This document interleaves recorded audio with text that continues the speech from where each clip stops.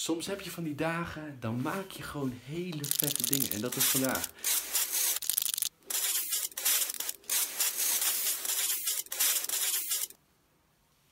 Goedemorgen allemaal. Voor mij is het helemaal een goede morgen, want het is op dit moment tien over zeven ochtends en ik zit al lekker in de auto.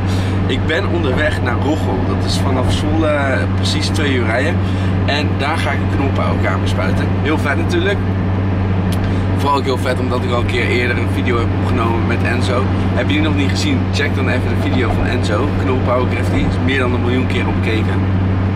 En uh, nou, ik ga even lekker twee uurtjes rijden en dan zie ik je in Roggel.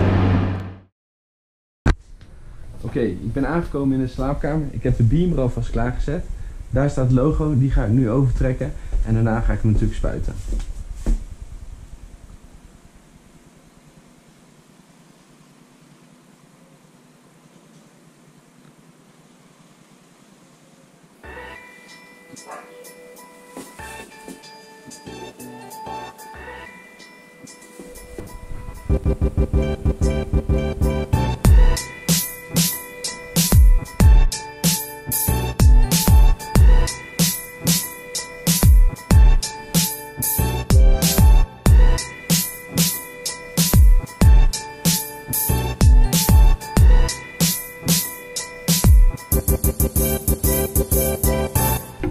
Volgende stap is het uitzoeken van de kleuren. Nou, logisch. Rood natuurlijk voor het logo. Wat verschillende tinten grijs.